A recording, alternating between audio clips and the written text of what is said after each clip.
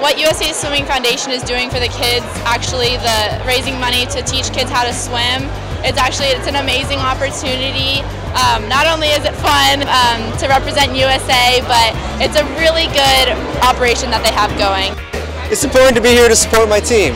You know, this is a celebration of what the U.S. national team has done this year, and I was privileged enough to be a part of it. So feels good to be here, celebrating all our great performances, and more than anything, looking towards the Olympics next summer in Rio de Janeiro.